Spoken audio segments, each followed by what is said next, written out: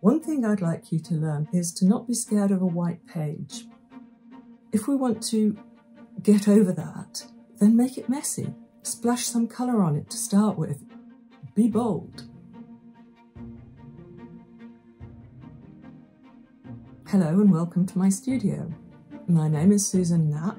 I'm a professional artist and illustrator and I live in southern France. I've always painted and always kept sketchbooks since I was a small child. My inspiration now is what surrounds me with these beautiful old villages and the countryside surrounding me. My class for Etchr today is going to explore one of my absolute favourite subjects, village squares with cafes in and parasols and of course coffee. The other thing I'd like you to come away with is how to interpret your photograph or your scene on location and make it your own.